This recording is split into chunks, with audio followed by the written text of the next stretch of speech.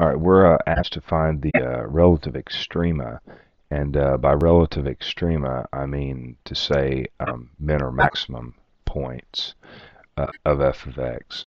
And uh, so the first thing we're going to do is to take the derivative, because remember the derivative tells us the slope of the line, of, of a tangent line. So the derivative kind of tells us whether the function is increasing or decreasing at some given point. So f prime of x is equal to 2x plus 2. And then what we want to do now is uh, set this equal to 0 and just uh, simply solve for x. Of course, this is an easy one here. So I'm going to take uh, the 2 to the over to the left and then divide both sides by 2, and therefore x is equal to negative 1. Now what we want to do is draw a number line.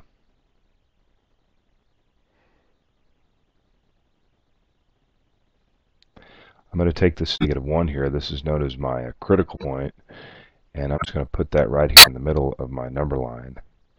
Now what I want to do is uh, choose some test points and I'll choose you can choose any point to the left of negative 1 uh, we'll choose something easy like negative 2 and then choose a choose something to the right of negative 1 and how about 0 0 is always a good one to choose because you're going to have to take these numbers and plug them back into the derivative.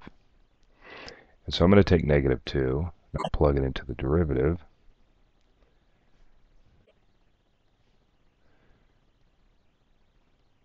So f prime of negative 2 is equal to 2 times negative 2 plus 2. And uh, of course that's going to be equal to, we got uh, 2 negative times negative 2 is negative 4, negative 4 plus 2 is negative 2.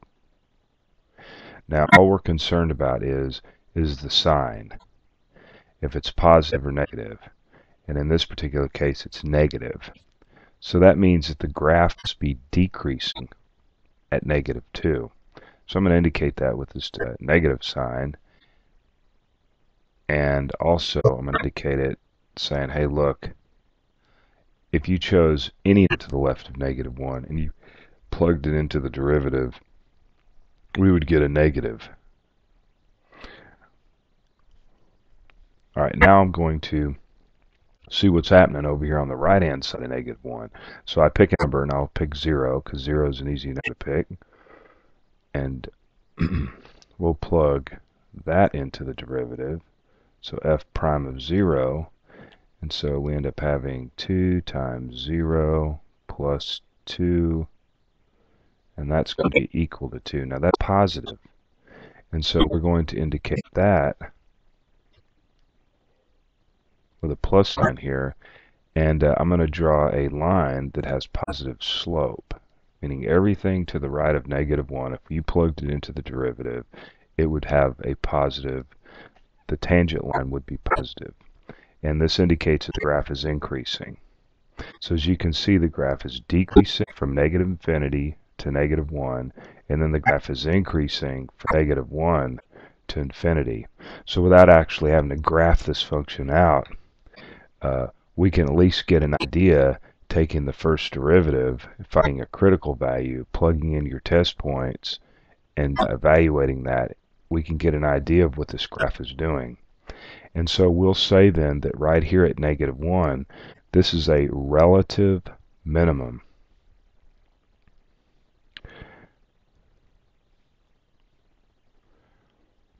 And so to actually find the actual point on the graph, what you're going to do is take negative 1 and plug it back into the original function.